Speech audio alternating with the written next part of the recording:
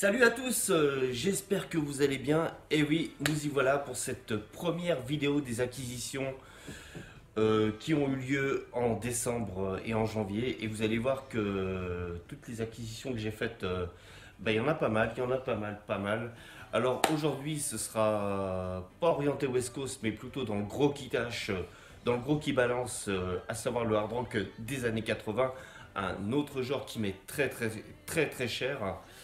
Voilà, et on commence de suite, évidemment, par un artiste euh, que j'admire, que j'aime énormément. C'est un de mes trois chanteurs français préférés. Il n'est malheureusement plus de ce monde. Pour celles et ceux qui suivent ma chaîne depuis le début, vous savez que je suis fan, euh, archi fan euh, de cet artiste. On commence avec une box qui est sortie en décembre. Voilà, je vous la montre on ne présente plus l'ami Daniel Balavoine. C'est une intégrale euh, évidemment qui est sortie avec euh, ses 8 albums studio et un album euh, d'inédit qui comporte notamment une chanson qui, est sortie il y, a, très peu de temps, inédit qui s'appelle J'étais devenu un homme. On pense que ça a été enregistré lors des sessions de son troisième album qui s'appelait Le Chanteur, son premier véritable succès. Voilà. Alors, j'ai surtout acheté ce coffret parce que déjà le son a été remasterisé par son ingénieur du son d'origine qui s'appelle Andy Scott. Excusez-moi, je déballe en même temps. Et je l'ai surtout acheté principalement pour ça. C'est le tout premier album qui s'appelle De vous à elle en passant par moi, sorti en 1975, qui, comme on le sait, était devenu très très rare. Euh, l'album c'était pour ainsi dire à l'époque euh, pas vendu du tout. Hein. Euh, je crois que c'est entre 3 et, 5 000 exemplaires, quelque chose comme ça. Voilà, son tout premier album de 1975, où il y a de très très bonnes chansons comme Couleur d'automne, une chanson qu'il avait écrite pour Patrick Juvet, qu'on retrouvera sur son album Chrysalide, sorti un an auparavant, il y a une chanson que j'adore qui s'appelle euh, L'enfant aux yeux d'Italie, qu'il avait dédiée à sa compagne de l'époque, à savoir la chanteuse Catherine Ferry. Voilà, de vous à elle en passant par moi. Ensuite, Daniel enchaînera avec cet album, Les aventures de Simon et Gunther, qui lui aussi n'obtiendra pas de succès, qui est pourtant un superbe album. Un album euh, sur l'histoire de deux personnages. Euh, qui sont séparés par le mur de Berlin. C'est un disque très poignant, une sorte de concept album, un album vraiment vraiment génial. Je pense que je ferai certainement une spéciale balavoine euh, sur ma chaîne.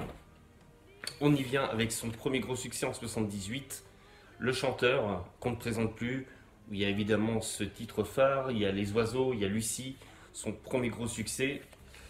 Ensuite vient son quatrième album enregistré avec son groupe Clin d'œil Face Amour, Face Amer. Ça, c'est 79, donc euh, on y retrouve le morceau Dancing Samedi. Autre euh, très gros succès, plus de 500 000 exemplaires vendus à l'époque, Un autre monde. Alors là, on y retrouve euh, Je ne suis pas un héros qu'il avait écrit à la base pour Johnny Hallyday. On y retrouve le Mon fils, ma bataille. On y retrouve d'excellentes chansons comme 10 000 mètres, le très rock aussi, Détournement. Superbe album, on y retrouve Lipstick Polychrome, une belle chanson pop. Voilà, tout ça c'est sorti chez Barclay Universal maintenant. Son sixième album, Vendeur de larmes, qui est un double. En fait, c'est tout un album avec un, petit album où il y a deux, ou trois titres. Superbe album. On arrive à mon préféré, Loin des yeux de l'Occident, 83. Moi j'adore cet album c'est un de mes trois préférés de la carrière de Daniel. Je suis fou de ce disque. Là, on y retrouve pour la femme veuve qui s'éveille, les petits lolos. Il y a des chansons comme Supporter, Frappe avec ta tête, superbe album. Très, euh, très marqué par Peter Gabriel. Son dernier album studio, bien avant qu'il ne disparaisse, un certain 14 janvier 86 au Paris-Dakar. L'album Sauver l'amour, voilà, que voilà, bah, qui ne peut représenter à l'heure actuelle sa plus grosse vente. Et voilà donc la compile d'inédit, superbe, avec des versions espagnoles. On y retrouve aussi bah, J'étais devenu un homme. On y retrouve la version de Je ne suis pas un héros avec Johnny. Donc procurez-vous ce coffret. Voilà, là, toute l'intégrale de Balavoine, remasterisée par son ingénieur du son Andy Scott. Superbe, superbe. Franchement, allez-y, les yeux fermés. C'est un peu cher, mais une fois qu'on possède ça, pour celles et ceux qui ne posséderaient pas l'intégralité de ces enregistrements, allez-y, plutôt que de vous jeter sur n'importe quel compile. Évidemment, il y a eu les fêtes de Noël, et je ne remercierai jamais assez ma chérie, que j'aime tendrement, et euh, qui m'a énormément gâté. Euh, voilà, j'ai été bien gâté pour Noël. Elle m'a offert euh, ça. Ça, c'est ce qui s'appelle un très grand groupe de rock FM, peu connu hélas, Boulevard. Superbe album de 88, groupe canadien. Si je dois vous citer, allez, 15 ou 20 grands albums de rock FM à avoir, bah celui-là est à posséder. Boulevard, sorti en 1988, qui s'appelle tout simplement BLVD. C'est le premier album. C'est sorti, tenez-vous bien, le temps que je vous montre ça, sur le label MCR Records. Que voici, que voilà. Boulevard, avec euh, d'excellents morceaux comme Dream On, Far From Over, Western Skies, Never Give Up. Franchement, procurez-vous ce disque-là pour celles et ceux qui aiment le, rock FM californien. Voilà, génialissime ça. On est en 88. Celui-là est vraiment très très très très bon. Vraiment, je vous le conseille. Mais puisqu'on est dans Boulevard, autant vous dire que celui-là surpasse tout. Allez, pour rien vous cacher, ça c'est un disque, tous ces disques-là, je les possède évidemment en CD. Mais celui-là, je plus qu'heureux de posséder en vinyle. Ça, si je dois vous conseiller, euh, comme je le disais, 15 ou 20 grands albums de, rock FM à avoir, celui-là, mes aïeux, Into the Street, sorti en 1990, toujours chez MCR Records. Boulevard emmené par une grande voix, un grand chanteur qui s'appelle David Forbes. Voilà. Et c'est pour moi, et de très très loin, le plus grand album du groupe. Me direz-vous, il n'y a eu que 3, 3 disques dont le dernier date de 2017. Superbe album, Boulevard Into the Street. Toujours sorti chez MCR Records. Voilà, je vous montre le macaron. Voilà, que voilà, superbe disque. Et ce que j'aime bien, c'est ça. Le look de l'époque. On les voit, nos, nos cavaliers du, euh, de l'AOR, du rock mélodique. Excellent album que je. Franchement, allez-y, jetez-vous dessus. Autant vous le dire, par contre, euh, les prix pour cet album euh, sont, sont pas donnés. Quoi, sont, sont... Je crois que pour Boulevard, euh, faut aller, pour celui-là, faut aller dans les 15, 17, 20 euros. Quoi. Mais autant vous dire que quand vous possédez ça, c'est. voilà. Ça, c'est immense chef-d'œuvre. On continue toujours dans les cadeaux que ma bien-aimée m'a offert. Alors attention, là on va en, France, un immense groupe de métal français, H-Bomb, l'album Attack sorti en 1984. C'est le second album du groupe, mené par ce grand chanteur, euh, regretté chanteur qui était Didier Isard, qui nous a quittés malheureusement en 2018. H-Bomb, euh, le deuxième album euh, qui sort euh, un an après le premier disque, sorti en 83, qui s'appelait Coup de métal. H-Bomb, on y retrouve les titres comme Substance Mort, Gwendoline. On y retrouve aussi La Horde. Voilà, H-Bomb, immense album de métal français. Merci ma chérie. Je t'aime. On continue dans le métal français. Autre grand groupe des sortilèges, des trusts, des warnings, des vulcains.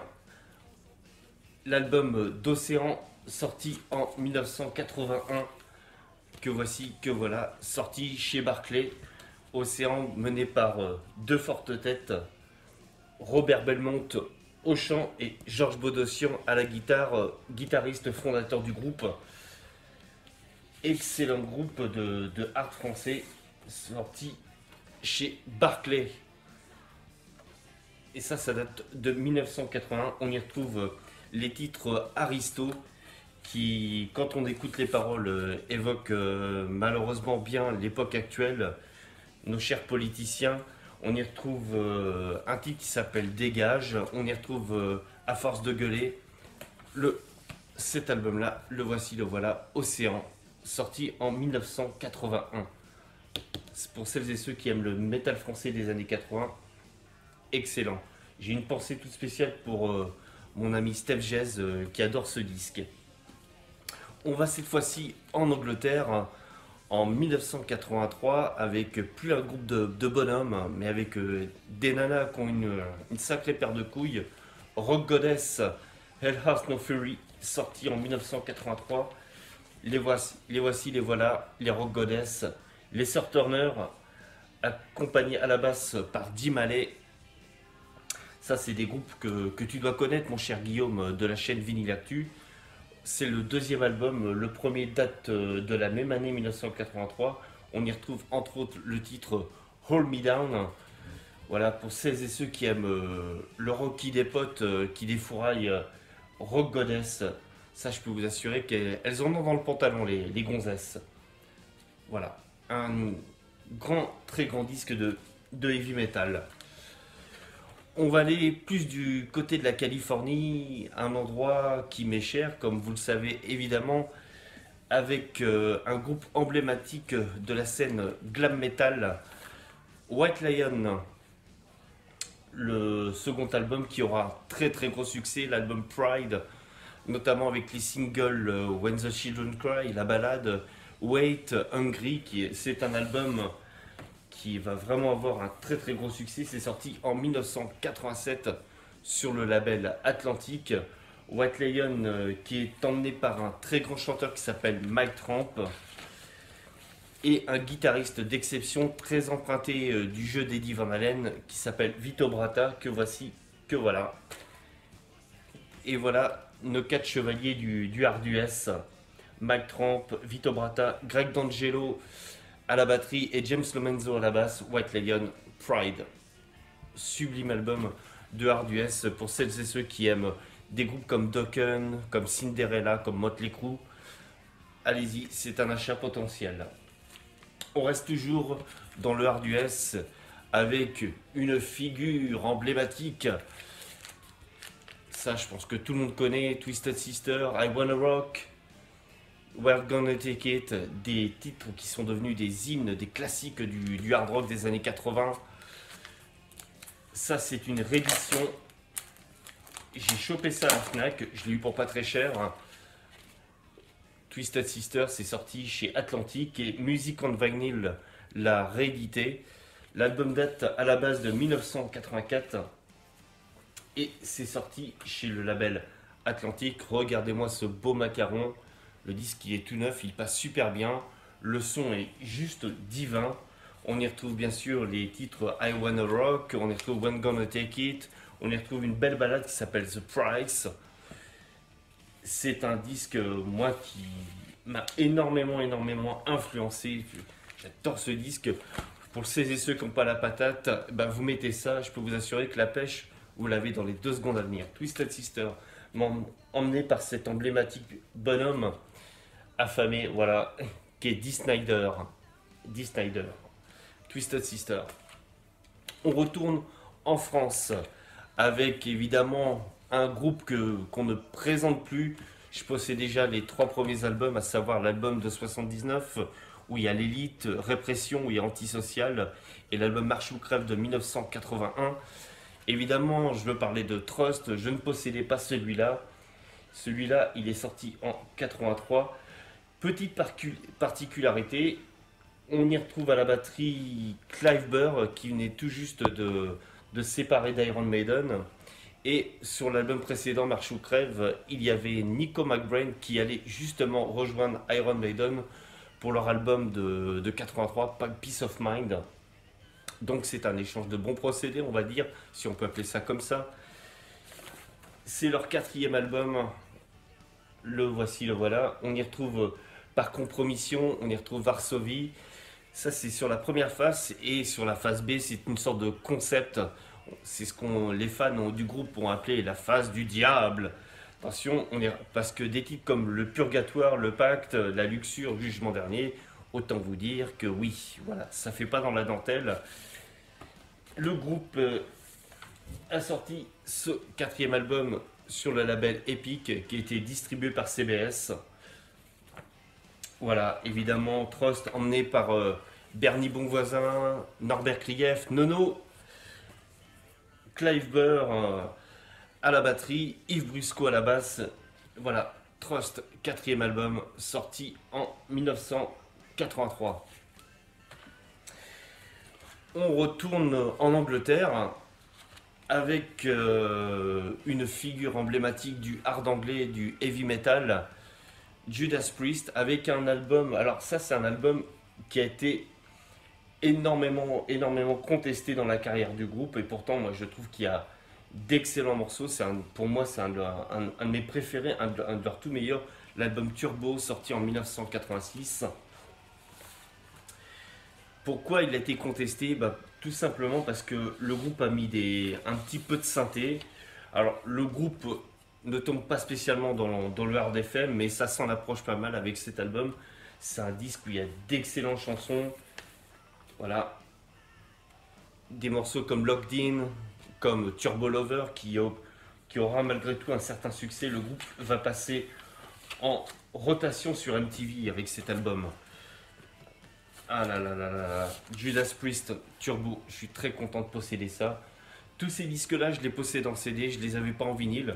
Alors en vinyle de Judas, euh, j'en possède quelques-uns comme Screaming for Vengeance, comme British Steel évidemment. Je ne possédais pas celui-là. Vous pouvez y aller les yeux fermés. Turbo 1986. Le prêtre de Judas, emmené par l'emblématique Rob Alford. On va quitter l'Angleterre, on va quitter les États-Unis, on va quitter la France. On va aller cette fois-ci au Danemark avec un groupe emblématique du Danemark, Pretty Maids, l'album Future World, sorti en 1990 et produit rien moins que par le bassiste de Deep Purple, Roger Glover, qui produit cet album ô combien somptueux. Moi, c'est pour ainsi dire mon préféré avec l'album Future World, sorti trois ans auparavant, en 1987. Il y a des titres d'exception, on y retrouve. Euh, euh, le nom de l'album, c'est Jump the Gun, on y retrouve Jump the Gun. Rien que pour le titre d'ouverture qui s'appelle Lethal Heroes, je ne peux que vous conseiller ce disque, sorti chez CBS. Que voici, que voilà. Et tout ça, j'ai pris ça chez un vendeur allemand, voilà, qui m'a, euh, pas très très cher. J'ai, j'ai acheté tous ces disques là. Superbe. Vraiment, Pretty Maids. Emmené par le, le grand chanteur euh, Ronnie Atkins qui malheureusement est atteint d'un cancer. Donc une pensée pour Ronnie. Et emmené par le guitariste Ken Hammer. Pretty Maids, Future World. Euh, Jump the Gun, pardon. Excusez-moi. Sorti en 1990. On retourne en Angleterre avec un groupe emblématique de la New Wave of British Heavy Metal. Alors tout le monde connaît bien sûr Maiden, on connaît évidemment des groupes comme Angel Witch, comme Diamond Head, comme Def Leppard évidemment. C'est un groupe euh, au tout début qui faisait partie de la New Wave of British Heavy Metal. Et bien sûr, impossible de parler de ce, de ce courant sans parler de Saxon. Ça, c'est le troisième album sorti en 1980 sachant que la même année, ils avaient sorti l'emblématique Wheels of Steel. Et en 81, ils sortiront un, de mes albums préférés, qui est Nine and Blizzard. Voilà, ça c'est le troisième album, Strong Arm of the, of the Law. On y retrouve le morceau Heavy Metal Thunder. Et ça c'est sorti chez Carrère. Attendez, bougez pas, je vous sors le macaron. Carrère, ce qui est, assez étrange euh, quand on connaît un petit peu le label Carrère. Euh, Carrère, c'est comme le, label qui a signé Sacha Distel, Dalida, Claude François, enfin, toutes les choses qui nous insupportent. Et qui avait signé, entre autres, Saxon. Je crois de mémoire qu'il y a eu quelques albums de Whitesnake qui sont sortis chez Carrère. Il y a eu les albums de Demon. Euh, Guillaume, euh, si tu peux me confirmer ça. Et il y a eu les albums de Saxon. Strong Arm of the Law en fait partie. C'est un superbe disque avec des hymnes, des hymnes à l'appel à gogo. Moi j'adore ce. Pour moi, c'est un de mes groupes préférés dans l'histoire du hard rock des années 80. Voilà, Saxon, emmené par l'emblématique Beef Bifford. On retourne en Californie avec un must-have du rock FM. Un artiste malheureusement très peu connu dans nos contrées. Il vient tout juste de sortir un nouvel album qui s'appelle Dare to Dream. Monsieur Stan Bush et avec le Stan Bush and Barrage, ça c'est considéré comme un classique de chez classique du rock FM, de l'AOR, du rock mélodique. Voilà, si ça c'est la musique qu'on écoute l'été. Voilà, vous mettez, euh, vous, ouvrez vous ouvrez les fenêtres, vous mettez le bras sur le, les lunettes de soleil et vous écoutez Stan Bush and Barrage. Attention, ça je peux vous assurer que ça, c'est du très bon, c'est une bombasse ce disque. Sorti en 1987 et le voilà, le beau Stan Bush. Stan Bush qui à l'époque euh, était chargé d'écrire des, euh, des chansons pour les films de Jean-Claude Van Damme on peut en rire, mais les chansons sont très très bonnes. Et Stan Bush and Barrage était sorti sur le label Scotty Bros.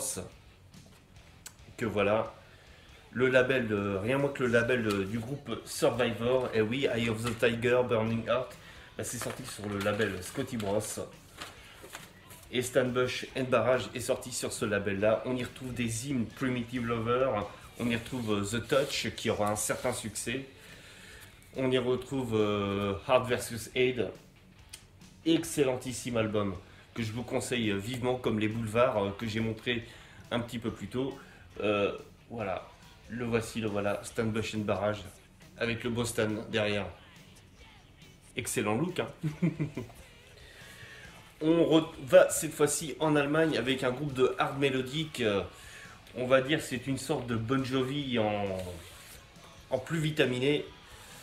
Bonfire, l'album Point Blank, sorti en 1989 sur le label, euh, un label distribué par BMG, qui est le label MSA, Point Blank. Alors, euh, groupe allemand, ça c'est sorti en même temps que les, Giants, les Bon Jovi, les Bad English.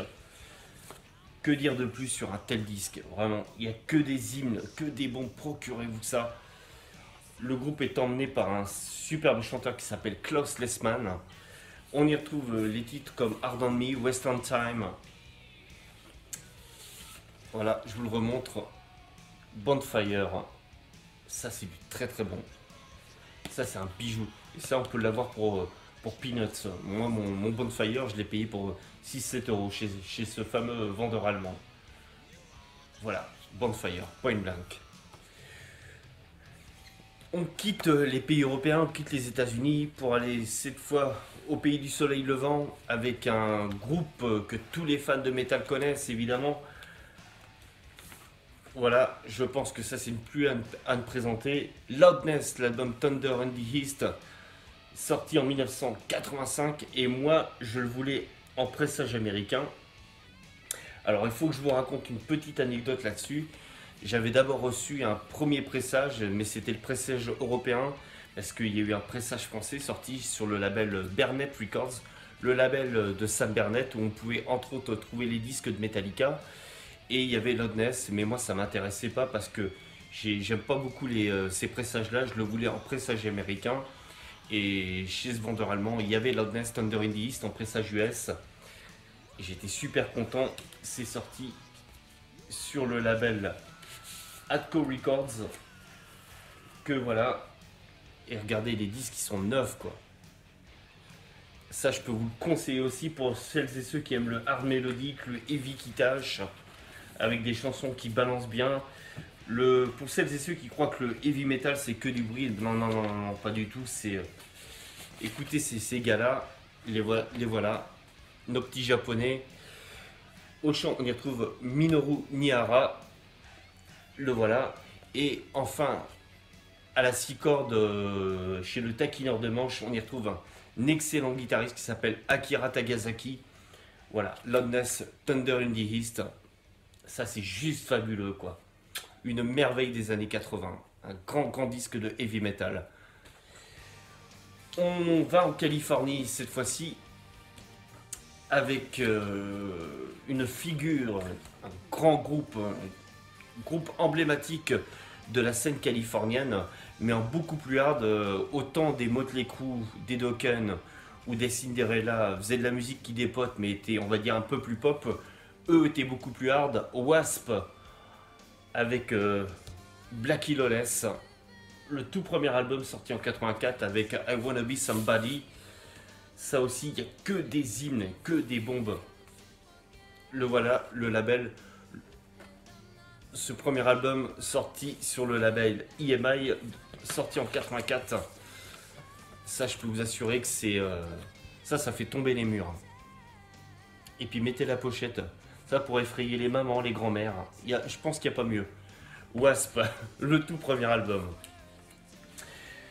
On reste toujours en 84 avec un groupe évidemment qu'on ne présente plus. Une petite pensée pour mon ami Fab qui est fan du groupe Whitesnake, l'album Slide It In, qui on va dire qui est un, qui est un petit peu l'album, euh, je dirais, c'est un album de transition. On sent encore l'influence hard blues, mais on sent bien que le groupe euh, veut aller euh, percer dans les charts, veut faire du, hard rock américain, du hard US, ce qu'ils arriveront à faire trois ans plus tard avec le fameux album de 87, l'album où on y retrouve Here I Go Again, Still of the Night, euh, tous les gros succès qui, vont marquer ces, qui vont marquer l'année 87 et le groupe passera en heavy rotation sur MTV. Voilà, le- Whitesnake Sliding In sorti trois ans plus tôt en 84. On y retrouve quelques musiciens de Deep Purple, on y retrouve euh, John Lord, on y retrouve l'excellentissime batteur hein, Cozy Powell, paix à son âme. Et c'est sorti sur le label EMI Liberty. Le voilà, le Slide In, avec euh, d'excellentes chansons comme euh, Give More Love, Sl- Slow and Easy, Speed It Out, qui est un, de mes titres préférés. Voilà, White Snake. Slide It In. Ça va dépoter le gluant. Et pour finir, euh, je me suis chopé ça aussi. On retourne dans le hard kitash, le hard mélodique, le hard FM, emmené par une nana qui s'appelle Sandy Saraya. Et voilà son groupe Saraya. Ça, c'est une des 20 plus belles merveilles du hard FM. Ça, le CD, je l'ai- poncé, quoi. Excellentissime disque. Ça, vous pouvez y aller les yeux fermés aussi. Voilà, tout le groupe et c'est produit par Jeff Glixman, euh, le producteur emblématique de Kansas. Que dire de plus? Ça, vous pouvez y aller les yeux fermés. C'est sorti chez Poly- Polydor. Voilà. Génialissime album, ça. Que hymnes. Gypsy Child? On y retrouve Healing Touch. D'excellentissimes morceaux, pardon. Saraya. 1989 à posséder absolument. Pour finir aussi, je voulais pas vous présenter un disque, euh, mais un livre que je ne peux que vous conseiller pour celles et ceux qui adorent le, rock californien, la West Coast. Je pense notamment à mon ami Fabef, à mon ami Franck, aussi à Steph, Steph Jez, que je- à qui je fais un petit coucou au passage. Un livre que je ne peux que vous conseiller, le livre d'Arnaud Choutet, Soft Rock. Pour celles et ceux qui veulent en savoir un petit peu plus sur le, la West Coast, euh, le son californien, si vous voulez aimez, euh, si vous aimez les Doobie Brothers, Toto bien sûr, Steely Dan, Christopher Cross et, tout le tout team, Greg Guidry, Robbie Dupré, voilà, je ne peux vous, que vous conseiller ce bouquin, on le trouve euh, dans toutes les bonnes charcuteries, voilà, Soft Rock, écrit par Arnaud Choutet.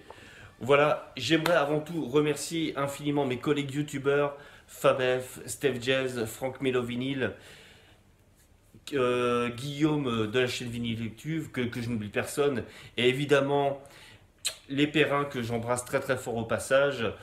Sans ça, ben voilà, c'est tout pour euh, ces acquisitions. N'hésitez pas à liker, à partager, abonnez-vous si ce n'est pas déjà fait.